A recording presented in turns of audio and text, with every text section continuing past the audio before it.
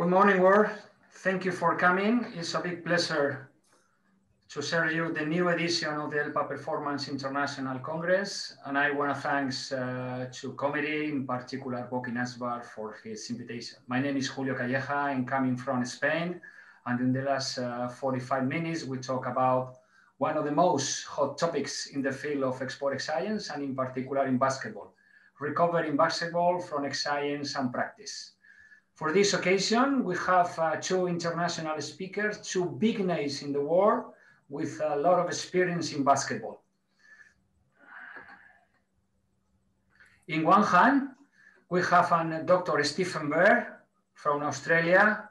Steve is a PhD, master degree as well, and now he's the athlete health and performance lead of the basketball New Zealand senior national teams.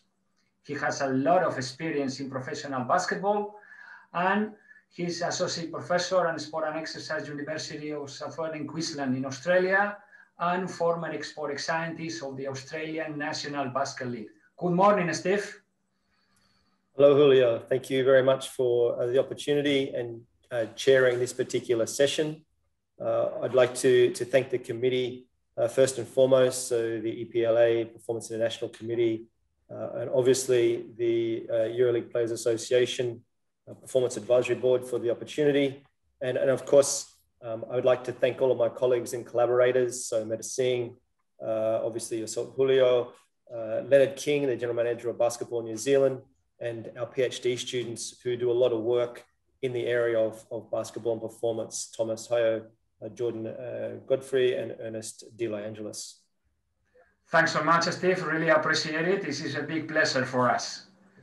And on the other hand, we have Mladen Mihajlovic from Serbia, excellent practitioner, a lot of experience on the court. He's a master degree in high performance sport at University, and now he's the head strength and conditioning coach of Virtus Bologna in Italy, and former head of strength and conditioning of many teams, Red Star in Belgrade, Partizan, Bayern Munich in German, and for sure Serbian national teams in a lot of international championships.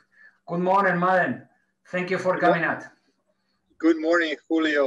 Good morning, Steve. Um, thank you for the invitation. I, I want to thanks also to the ELPA. I want to, to say that I'm really honored to be part of this great project of this conference.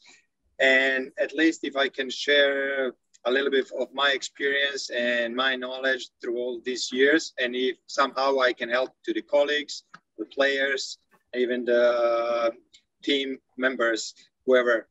Uh, so I'm really glad to be with you guys and to enjoy.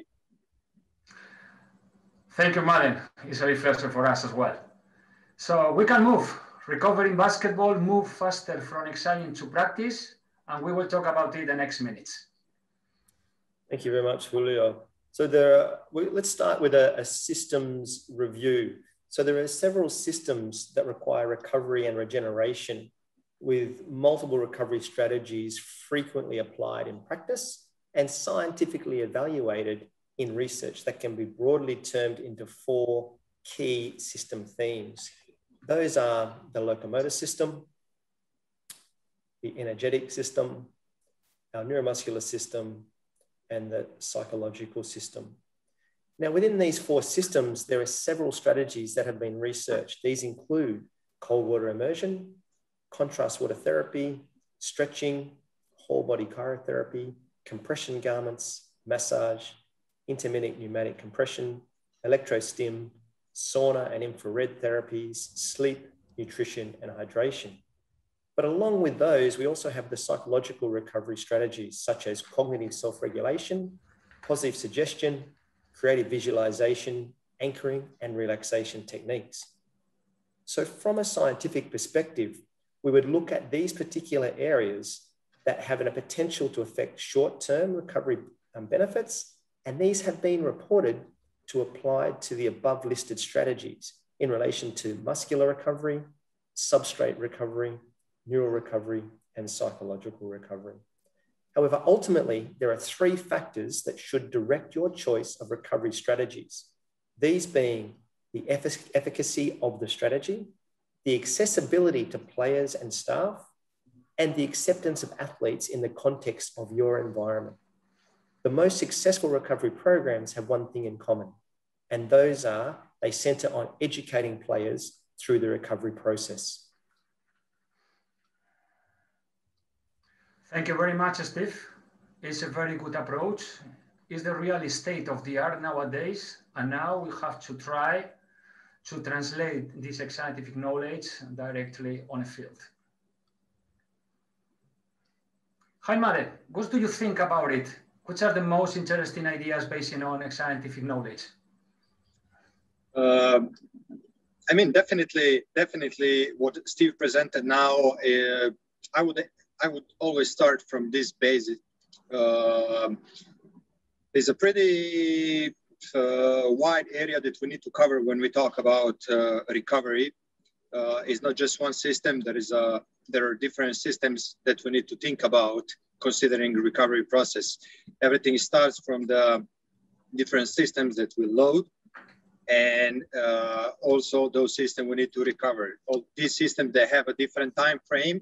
So uh, maybe locomotor system needs a more time comparing to energetic system to recover or neuromuscular system, more time to recover than locomotor system. Uh, I would always start from from this point of view and to make a difference between these systems. Um, also, uh, trying to, to implement um, this theory working with the players and to try to educate them to understand how complex uh, recovery process is.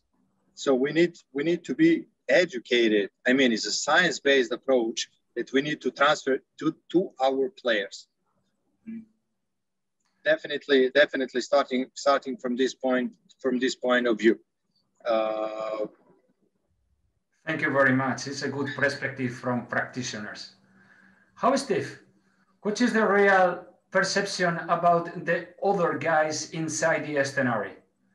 We're talking about the real scenario in basketball. That's a great question, Julio. And I think we start with our approach from the recovery pyramid. And we have termed this approach the 90 10. Now, as we aim to educate players using the recovery 90 10 principle, this is built on three pillars, and those pillars being sleep, nutrition, and psychological well-being. Now, on top of that, our key here, though, is to make sure there is a significant amount of literature that looks at the sleep process within athletes. And it is one of the underpinning areas that we try and educate our players on because it has such an impact on all facets of recovery. Following which, we then look at topping up the other 10% with all of the other types of modalities. Now, these modalities could be what we term the one percenters that count in the field. This approach is then implemented through a recovery point system. And our recovery point system really looks at educating the players by providing an overall numerical weighting for the different recovery strategies. We first designed this recovery checklist for athletes education tool with the Indonesian Olympic team for Beijing in 2008. The goal is for the athlete to accrue certain number of recovery points over that period of time. We've since used this with multiple sports from basketball through to elite Olympic athletes. Nice picture, and thank you very much because it's uh, the real uh, things that we can use uh, always from a didactical point of view in order to serve to our mates in teams and players as well. What do you think about it, Mladen? I think I think it's a it's a it's a great great idea. Definitely. Uh, I mean, as much tools as you have, uh, definitely you can do more things. Uh, this pyramid 90-10 uh, looks very simple, uh, but uh, we need to consider what is the main thing? So if we if we look to the pyramid, so like what is the 90 percent uh, area that cover the recovery process? I would start from from the point that uh, at least we're humans. I mean, when we when we talk about uh, players, the first thing they're humans, so need to do some basic basic stuff that will cover this area. The other 10%, I mean, the, the rest of this pyramid, the 10% is everything that we can do in a club. And I think this, this relation uh, uh, present the real picture of the recovery process. Uh, I mean, I don't, I don't know the player that can perform well if didn't sleep well or if didn't eat well or is not in a well-being condition. Even if they do all these uh, things of recovery, such as ice bath, uh, conscious therapy, massage, but if they don't um, if they don't cover this 90%, there is no way that they will perform uh, perfectly. They will not even maintain the performance on the high level if they don't respect the first three things that are on the bottom of this pyramid. Thank you. It's a good point of view. So if we consider these all tools in order to give more uh, practice, we have to start analyzing which are the main difficulties, which are the main knowledge, which are the main advantages we can get when we use different tools or toys than we have get on a market. Yes, Steve, we can continue yes. with it. So in relation to as uh, extending on one of Mladen's point around individual athletes, in this particular graphic, we have the recovery points that the athlete has accrued over a 48 hour period with an Australian National Basketball League team. The green dots represent individual players with the number of points that they were able to accrue in 48 hours. The red dot is the mean for the entire group. Now, as practitioners in the field, we are always thinking about player wellness. And we look at several subjective markers of that, whether that be they rating their level of sleep, their level of soreness, uh, their level of energy. Now, in this graphic, we can see that in the 48 hour period, comparison to the player wellness itself. Now, when we highlight this, our goal is to have our players at a subjective player wellness score above 65%.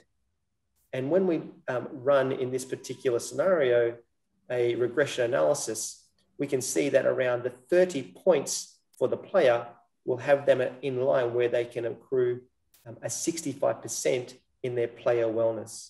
So this is a practical example of how we would use the recovery tools for them to accrue their recovery points and allowing us as practitioners from a scientific perspective to identify how many recovery points will be related to subjective wellness. But the serious part of this is how does this look in practice? And the example we will provide for you is this example from Jimmy Butler, where Jimmy Butler talks about complete readiness is an around the clock process. And for Jimmy, in this off season preparation example, every hour is mapped out. And when you look at everything that Jimmy does in this example, from 4 a.m. with workouts down to uh, substrate, to recovery, to nap, all the way through to 7 p.m., the reoccurring theme is the emphasis that Jimmy places on including recovery type modalities to ensure that he's ready to perform in his next session. And Jimmy has been um, quoted as saying in this example, it's a rhythm, it's a routine, and I don't skip any of it. I don't skip any step in the process. I eat when I'm supposed to eat, I sleep when I'm supposed to sleep, and I play dominoes when I'm supposed to do that. So the individual factor is quite important based on the context of the athlete and the environment. Sounds good. Steve, thank you very much because there are two key points. First of all, how analyze the wellness and recovery radio is very important. And second one, how we apply during daily routine with players and including all strategies in order to serve them the best way and education for the rest of the career.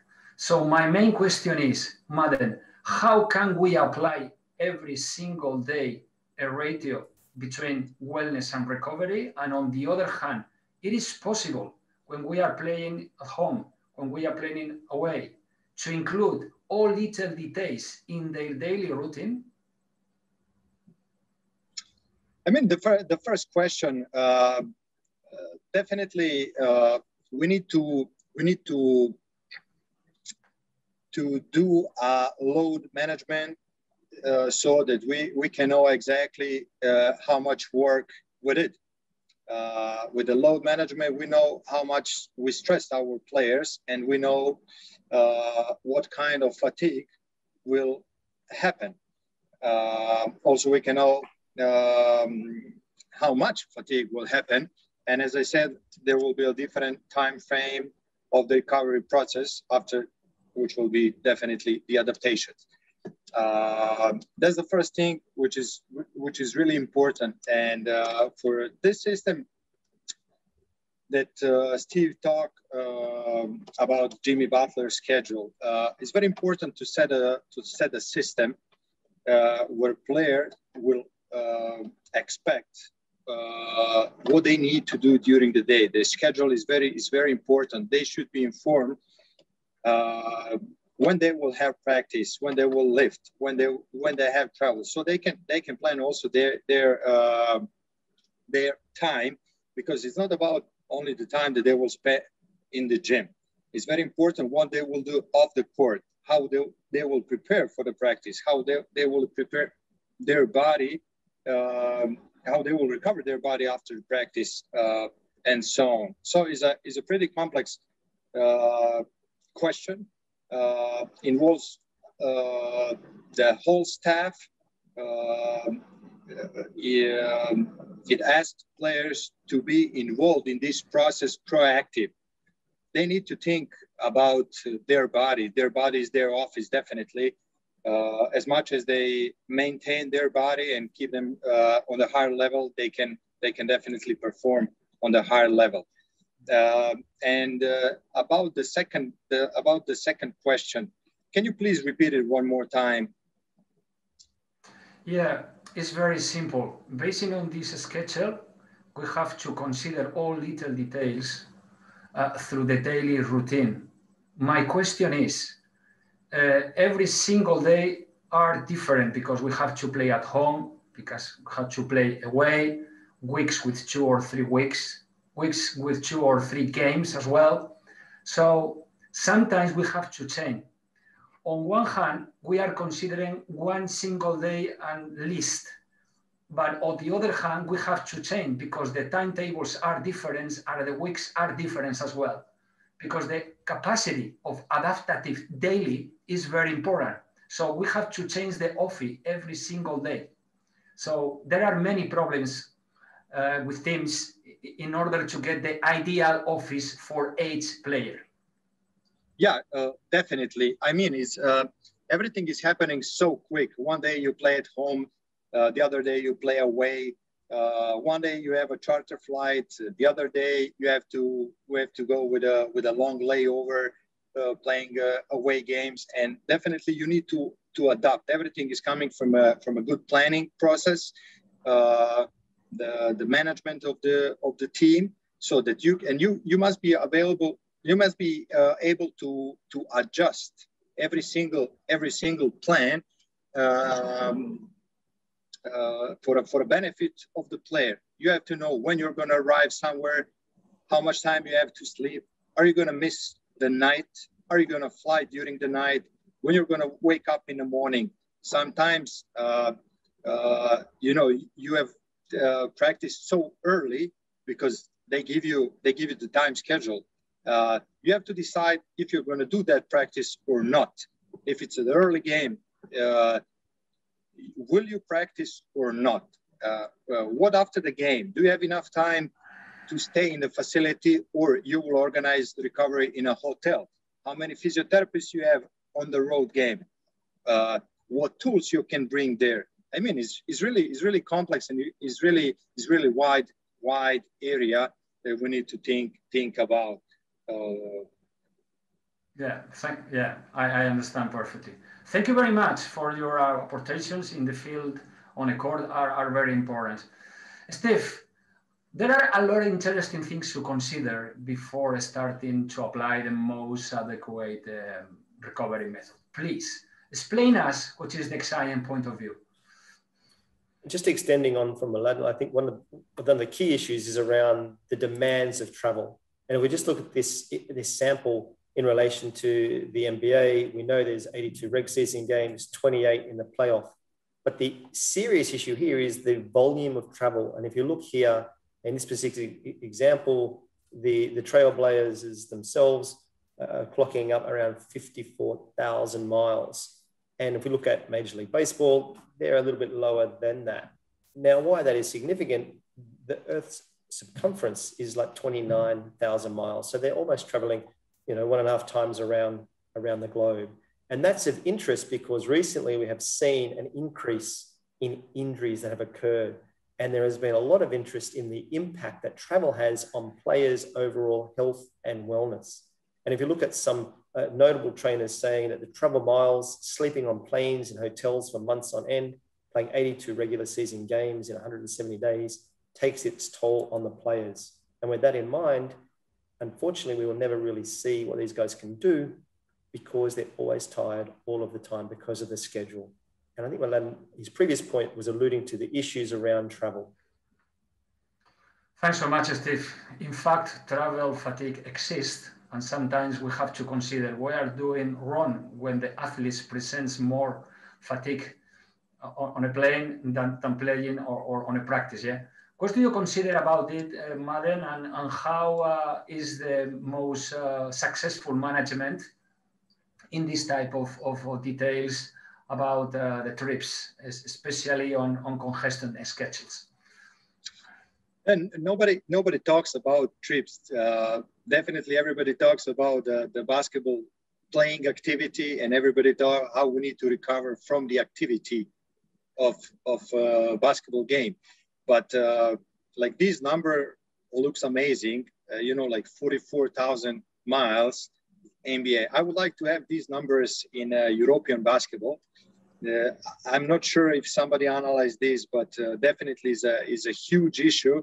Uh, different different budgets budget that we face comparing to the NBA. And I don't know, Steve, was the was the situation in Australia? But uh, you know, a lot of teams they don't they don't travel with the with the charter flights. You know, they spend a lot of time on the airports waitings, and this is the main point. Like how many how many hours um, we sit so players in a seated position, you know, it's like four or five hours flight with a with a layover, uh, coming to the airport, coming from the airport. You know, is a is a is a pretty passive position, and I think, you know, like uh, the posture change, the um, the breathing depth, the breathing uh, rate, everything everything is, uh, is influenced by by by this problem. And I would like to to see you know, to compare maybe even um, like conditions from different countries, like teams that play in Russia, playing in Spain, and you know the distances that they cover is is really tough to, for players to, to to stay fit, to stay uh, uh, healthy, and to to follow this. I think that that clubs need to also to invest a little bit to a little bit more because like playing in, in Europe is really tough. Every every single game there is a lot of pressure. Uh, you know, is in or out. What I like to say there is a, there is a high impact also on the on the nervous system. Uh, how we try to to help the players like during the trips. You know, we usually we bring some of the tools and like all the toys on the plane, like a foam rollers, uh, trigger point balls. We suggest them and try to educate them to give them some advice if they can release some muscle, if they can stretch uh, to stand up and to spend some time out of seated position uh, because blood flow, because of posture, and so on and so on. I mean, these are like small suggestions that we always try to to give to our players. Definitely, you know, sometimes if they choose to sleep, of course we will let them sleep because the lack of the sleep is one of the of the biggest problem, like in a modern basketball yeah, for sure. In fact, the biggest step uh, probably is the private flight. However, we have considered all little details in order to reduce travel fatigue during all processes. Thank you very much, Madden. Good, good, good ideas uh, uh, in order to explain with more detail what is the real life of the top basketball players. Steve, is there anything new or something new detail about the next one? or you have to consider other little future research lines in this topic? Certainly, and I think Milan touched on a really impertinent point, that being the postural alterations of excessive seated and traveling. And we're going to look at areas such as the iliopsoas muscle group, um, diaphragmatic compression, and then upper thoracic um, issues around hypertonicity across the shoulders and the neck, uh, sternocleidomastoid, moving up into the occipital. That whole area does end up in a high state of hypertonicity. And that's where one of the most common therapies is around soft tissue treatment and specifically self myofascial release or SMR. Um, in that regard, soft tissue therapies are extensively used in elite basketball, especially the SMR techniques. There's several proposed benefits of uh, SMR techniques, including reducing local fatigue, reducing muscular uh, excitability, reducing, uh, inducing relaxation, mood enhancement, improving joint range of motion, and obviously postural resetting. Uh, fortunately, we were involved in a research group that actually examined the impact of foam rolling as a recovery tool following eccentric exercise and explored potential mechanisms underpinning changes related to jump performance. There were improvements in counter movement jump at 72 hours uh, post, along with small to moderate effects observed at 48 hours post training. Most notably, the pain tolerance also improved at 48 hours, and these effects were observed at 24 hours post as well. However, despite this, there was no clear evidence of any neural contribution to this improvement in counter movement jump. And we know that this may at least be in part facilitated by increases in pain tolerance. Notably, players always reported feeling better after SMR. So for us, soft tissue management would be one of the mainstays that we would use and looking at a variety of modalities. So from foam roller to vibrating units to um, looking at, trigger point uh, guns, trigger point therapy, there's a, a, range of soft tissue techniques that we can be applying both in travel and at the hotel and at the venue for the game. Thank you, Steve. Good scientific approach. In fact, we are very skeptic about uh, roll a significant change. Probably we need a good meta-analysis uh, in the next years in order to understand better the, the most uh, adequate effects, not only of myofascial and tendons as well, because it's very interesting tool. However, there are a lot of little details in order to consider Madden. One of my best reflections during the last years in, in basketball is how the players apply the same protocol before and after practice with the same tool. Uh, in, in, my opinion, we have to understand that there are two different uh, targets, there are two different goals, and uh, the protocols are exactly the same. And how is your experience with different type of foam rolls, with vibration, with different um, uh, ideas, we include in one or two legs, or uh, with uh, uh, focus on tendons, focus on insertions, or, or in the middle of the muscle, you know? Tell us, explain us, which is your experience on a core when you apply this tool with players. Yeah, definitely. Good, good point and good observation. Um, I mean, uh, definitely there are players that just copy and paste something from the past, and there are players that really wants to to learn uh, uh, and to understand the main point of uh, of different procedures. Uh, uh, what we do, and in my experience, I mean, uh, cannot be the same process before and after activity. Definitely. I mean, there, there are goals before activity, what we want to do with the soft tissue, but also what we want to do after the, after the activity. Uh, the pre-activation, uh, the main goal is definitely to prepare body for, uh, for the activity, you know, to treat the soft tissue on a certain way, to facilitate muscles, to, to increase the blood flow, to warm up the muscle. But on the other hand, uh, the, after the activity is a totally different is a totally different approach. So I'm not big fan of uh, foam rolling after the activity. I would like uh, more to to to approach it from the side of physiotherapists. There are much more effective uh, procedures, uh, such as different types of massage, uh, the Graston techniques that will that will uh, influence and the, the fascial fascial treatment. Some kind of mobilization, uh, releasing the tension in the muscles, tendons, uh, opening joints, and trying to to put the soft tissue in a I like to say like in maintaining the condition. As close as we keep the soft tissue uh, closer to the to the to the um, like a normal optimum level, it would be better.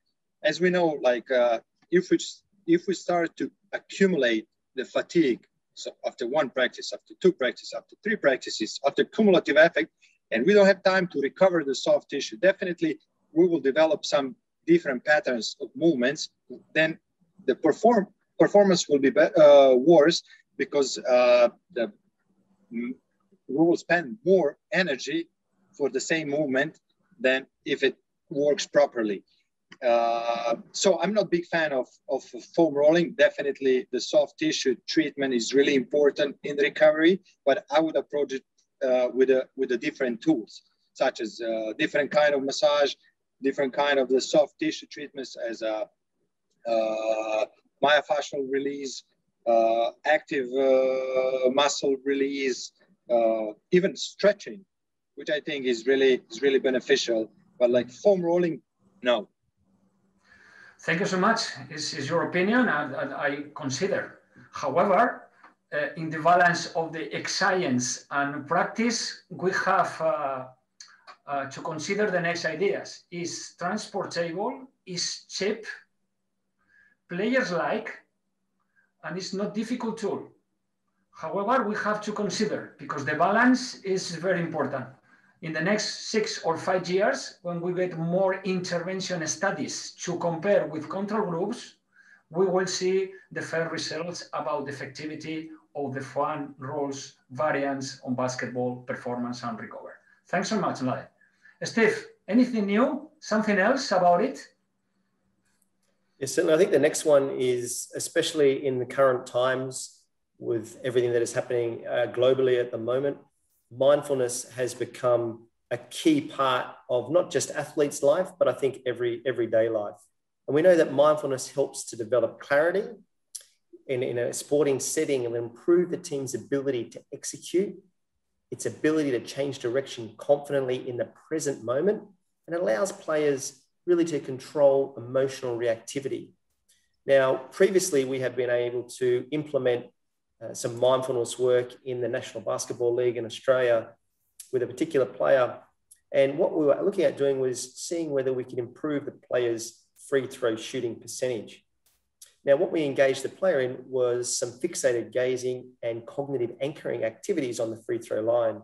And we were able to observe a 37% improvement in three free throw shooting performance following implementation of anchoring centering strategies. Now, really, what does this do? It allows the players to reduce internal noise by anchoring to the task and remain present in the current moment by regaining focus and reducing their attentional field reducing negative emotional reactiveness, and promoting, promoting a sense of calm and clarity. Now, the other area of mindfulness, which is quite of interest, Julio, is that of developing emotional wellness. Now, we know that this is a key component, and it's a person's ability to cope with daily circumstances and deal with the personal feelings in a positive, optimistic manner. And we've successfully used several approaches, and there's some apps that are available that are, that are quite relevant. But in relation to what we've done on the court, we've really looked at four key areas. And that is one, performance flow. How can we achieve this? And that's through obtaining clarity and situational awareness. We look at our attentional field, so uh, reducing our attentional field and controlling our emotions.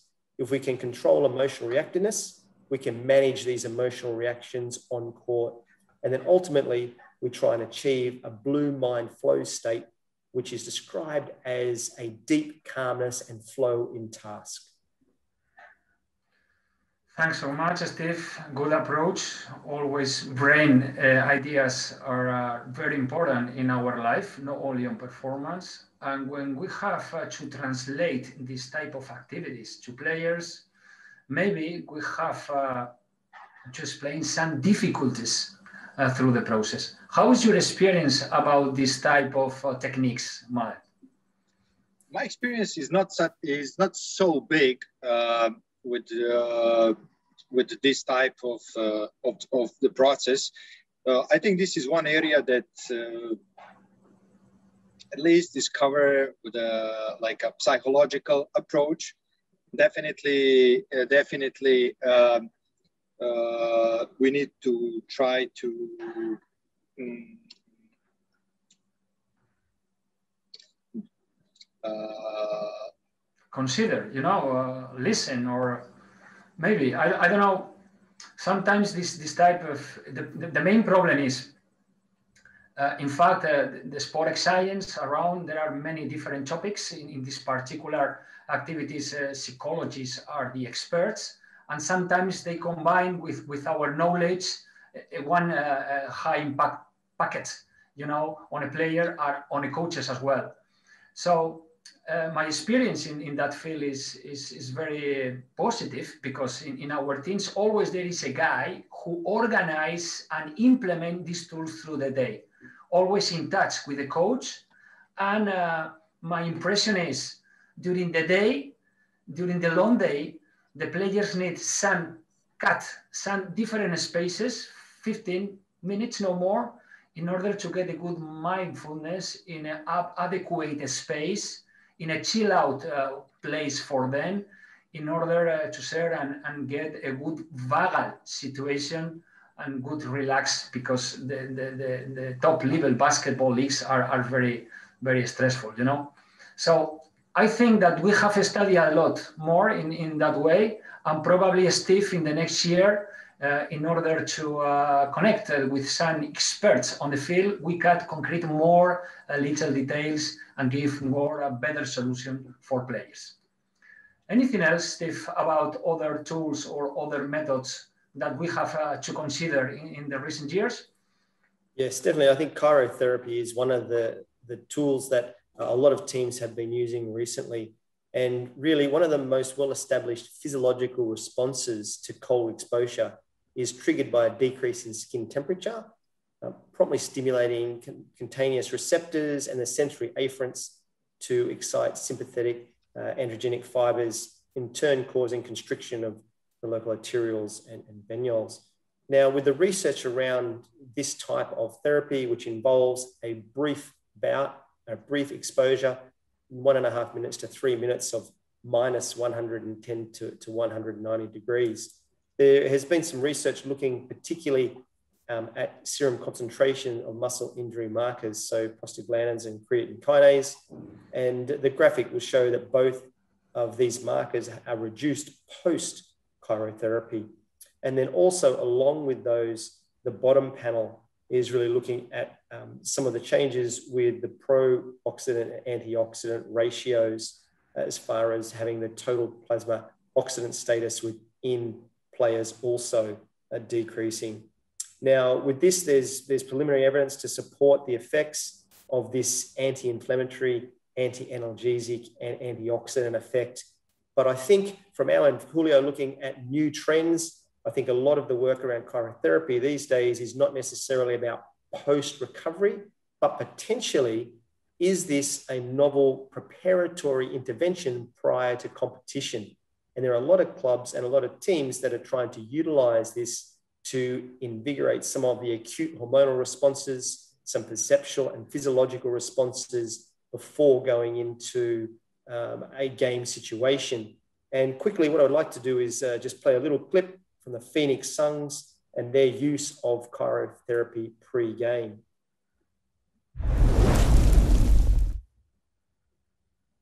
Coolest interview I ever had. So it appears that you put yourself in a refrigerator. What are you doing today? I'm uh, getting ready for the game. It's a big game today, so uh, hopefully uh, I'm going to feel better uh, just speeding up my recovery, and uh, I'm obviously uh, making my body a little bit, you know, lighter. I would say, and and and it just it just makes you feel better. It just kind of it works kind of like a cold tub. Well, it's a cryo sauna. Uh, the object is the player gets in. Uh, we. So with that in mind, Julio, I think there is potentially the use of such a strategy as a preparatory method pre-game? Yeah, in fact, uh, the effects on human body after uh, this type of temperature in, of, by cryogenic chambers are described not only in, in sports, in other population as well. It's very interesting, this idea, because some physiological uh, variables are changing. We have to consider if the best moment is pre or after game. Probably depends of the typical week. And I will consider another little detail more. The first experiences about the cryogenic chamber are very good responses on sleepiness because there is a vagal response after this type of intervention. So we have to consider related to the capacity to get good sleepiness on players, Steve, uh, we think that uh, which is the most uh, direct way in order uh, to get um, seven hours and a half, eight hours every single day for this type of players. Definitely. And I think the late nights, the early mornings, the condensed travel schedule with games, and I think these all affect uh, the ability to sleep and potential health implications can be quite significant. Uh, recently, uh, Julio and I have been fortunate enough to work on some papers we've published in the uh, Journal of Clinical Sleep Medicine looking at an urgent wake up call for the NBA. And we've previously published some work with some recommendations uh, on sleep for athletes. And what we also have looked at is that it's not necessarily just an issue for one particular sport, that sleep and sleep quality remains an issue for multiple sports across multiple different domains. And for us, I think one of the key areas here is noting from Dr. Medising is that every aspect of athletic performance is affected um, by not getting enough sleep. And if you look at going back to, to Doc Rivers in his time at the Celtics, he reflects and says that, you know, we're trying to win a championship. And if you're getting five to six hours of sleep a night, and that's just not good enough. If you go three to four to five days, then your reaction time is terrible. It's about winning championships. And to do that, we need to look at quality sleep. Our research with the Australian National NBL champions, the Perth Wildcats, allowed us to look at this particular team flying from the West Coast to the East Coast and back again throughout the first eight games of a very congested travel period. And what we were looking at really was this new term that has been uh, published a lot about recently of sleep hygiene, and specifically looking, at trying to come up with a particular process that is your routine around sleep. And then the last part of that deals with the fact that, as we mentioned, there's a lot of health issues lately that have been described by players talking about the issues of a lack of sleep. And while most research and, and our focus has shifted towards this acute and chronic effects of sleep disruption, I think not only this is an area of problem, Julio, for players, but I do think this is an area that also has implication for coaches. Yeah, in fact, this is the new research line, Steve, about how implement um, some different tools translating from other populations, commands, astronauts, um, translate to the sports, athletes in particular in basketball, is, is the next target on, on future because uh, the lack of sleepness is probably the first biological recovery process, you know. So uh, in these uh, experiences based on scientific evidence, Mladen, have you another anecdotal uh, report or have you the uh, situation with players uh, related to or, or something uh, about it? yeah what i can say i can say from my from my experience uh, you know let's start again from the pyramid when we say that is like one third of the bottom of the pyramid should be like a proper sleep i would say i would give 50% because i think that performance really really uh,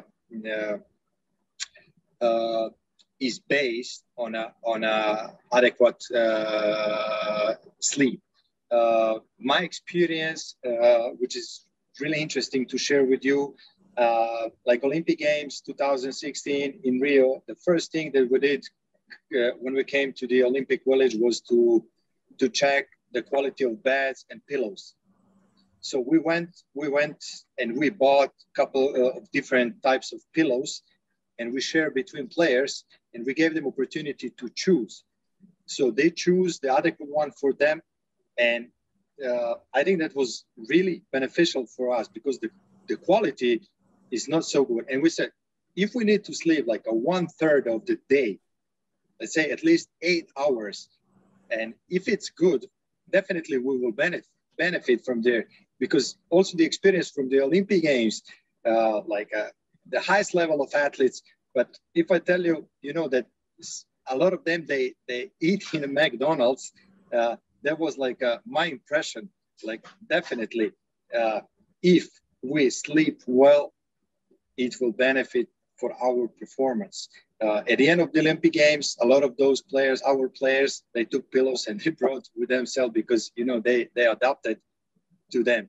And um, this is just a small digression, but uh, like with the team, uh, we try to to suggest players, you know, to to have a, a certain routine uh, once we get to the hotel.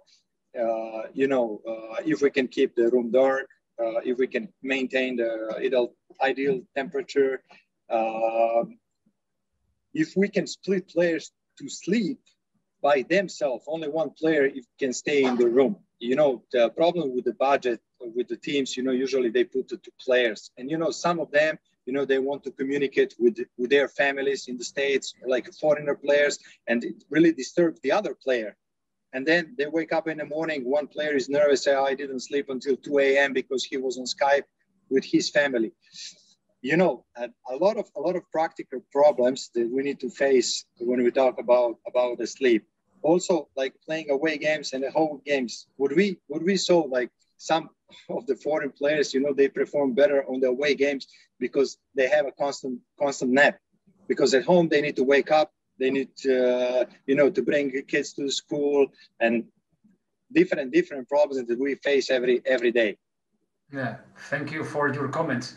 In our group, in fact, with Stephen and Mita and Charles and Thomas Huyghe, we are considered that on future we have included an expert on slimness on teams is very important, this part of performance, in order to get better recovery. Is there anything uh, or a new concept in order to get a sleep extension during basketball performance, Steve? Yeah, How is the management? yeah, I think this is quite pertinent. And if you look at the initial work by Cheri Mah, where they looked at sleep extensions, the idea was to try and accumulate 10 hours of sleep so if the players slept for seven hours, they would try and accrue another three hours during that 24 hour period. And most notably, when you look at pre-study, the athletes averaging around, and these are student athletes, averaging six and a half hours, but then post, uh, when they were getting the sleep extension, that increased to eight and a half. That improvement of two hours sleep in, in the playing group ultimately had an increase and improvement on court-related activities. So sprint time, free throws, three-point shooting, and then perceptual measures of alertness and mood and uh, sleepiness and fatigue were improved as well. So getting more sleep, so through some sleep extension, is very important. And I know with a lot of the teams in particular, especially if you are working with student athletes, they are often um, night owls. So we need to look at them retiring earlier and trying to optimize their sleep extension because this has a significant impact on their overall health and well-being. Thanks so much, Steve. Very good detail in order uh, to consider. So we have to continue offer the exciting evidence to include in our packet, in our recovery bag, because on future uh, this type of uh, toys or tools we don't know yet because uh, the secondary effects probably we will see in the next five six years. We need to concrete more little details. Anything new about these topics steve what should you consider to offer?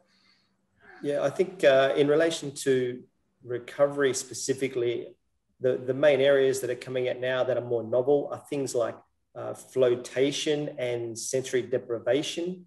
And once again, I think if we consider the current environment with the levels of stress, both for athletes uh, competing and traveling repeatedly, where we take an opportunity for athletes just to take a time out, there's some very positive work coming out in the area of sensory deprivation.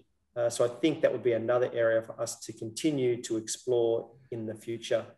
Um, I think that would be an area where there is a lot of opportunity to have a, an impact, especially currently given the, the psychosocial status around what's going on in the world. Excellent. Other topics, Steve, other things, other new ideas. Yeah, I, I, think as we go forward with this, there's a few a few main points for for the listeners uh, and the viewers to take at the moment, um, and those are really if we have a look at what is supported by evidence uh, and the evidence supporting recovery, our main approach here would be there's still significant research that is warranted uh, in the field and being able to apply that specifically uh, to basketball settings. And, uh, and as Mladen has alluded to repeatedly throughout his experiences um, that he has provided, that there's no one size fits all across any group. We need to look at the strategies being applicable for the sports setting so, what is the context in relation to your organization? And how can you go about engaging players individually within this process? And then finally, looking at the combination of proactive strategies. So, have you got recovery programmed within your training and the importance, once again, of the key principle of individualization?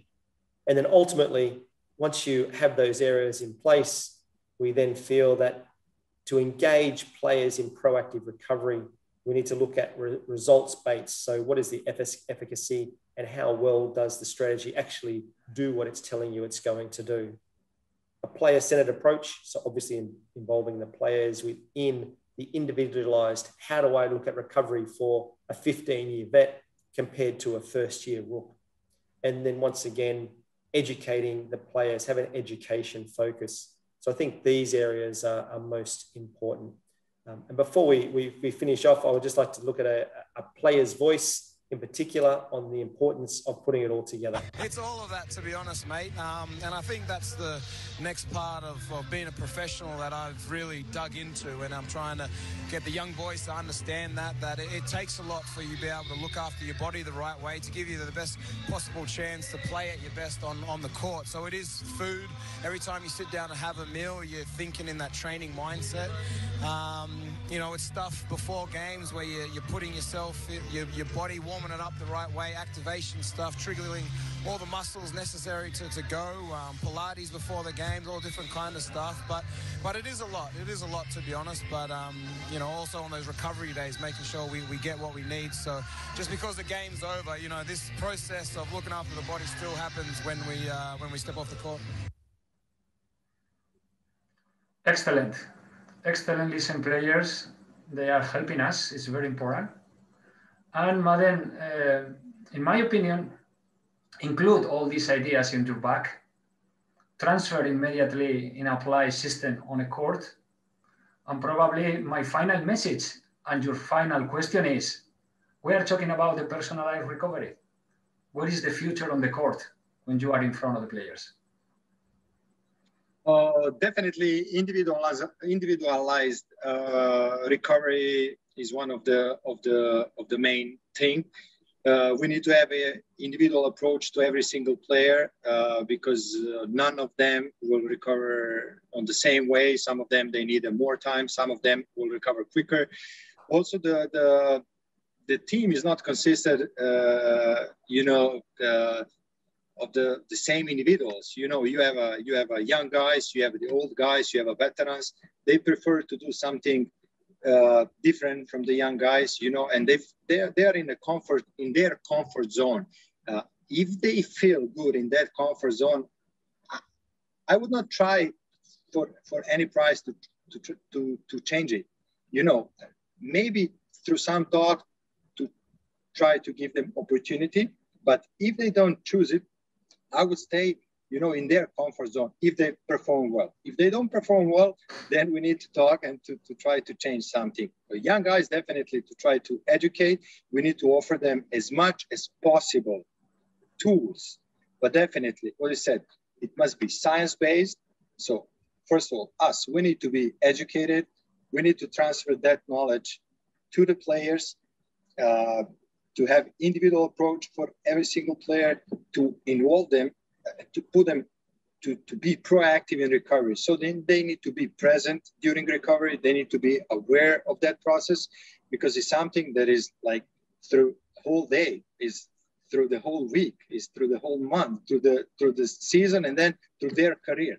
Um, now we are. Uh, we can see that today, you know, you have players like a 35, 36, 40 years old, and they maintain their body. They play on the highest level in a different league from Spain to Italy, Germany, which was amazing like 10 or 15 years ago to, to have a players like with this number of games, you know, uh, to play on such a high level. Uh, they play like uh, fifth time in a row. They play like Olympic games, which is which is amazing. So uh, this is a proof that they can, but you know, it must be it must be something from our side just to to offer them. Uh, the the the second slide was um, with the with the uh, recovery with the with the points. Definitely, we need to offer them like three, four, five, six different strategies. So as soon as they as they leave the court, they should they should be uh, able, you know, to take something for a rehydration, uh, like a nutritional side, like metabolic recovery. Um, I like to call it like a flow model. So once they once they come into the locker room, from there they know exactly what they need to do. They go to the physiotherapist room. They they treat their soft tissue. They treat their body. Once they finish that, they get tape. They come to the weightlifting room. Again, they treat their body. After that, they come to the court. Once they finish the court, again on the same way, but the opposite side, they're coming back. They treat their body in the physio room they release the muscles, they take um, liquids. Uh, okay, in Europe, we have a problem here with the budgets and organization. Um, like also to have a meal. I, I think that just a couple of teams they they have a they have a that approach, uh, and then to do like ice bath, uh, even if they have cryotherapies, and then they can go home. I like to call like a, like a flow model, which is which is really good for them to understand that this is the process. It's not just okay, I do it because it's good. No, it's a process of taking care of your body, and you know to think about tomorrow, about the next uh, practice, about the next activity, the next game, next week, next month, and next next season. Thank you very much. Thank you both, Steve and Mladen. Big pleasure in the name of my mates of the Performance Advisor Board of the ELPA, Recovering Basketball from Exciting to Practice, thank you very much. I appreciate your time and your knowledge. It, For us, it's a big pleasure. And thank you for the, all the audience. And uh, I hope that this type of uh, events are uh, better for increase our level in our profession and uh, to get a very best uh, basketball for the world. Thank you very much. Bye-bye.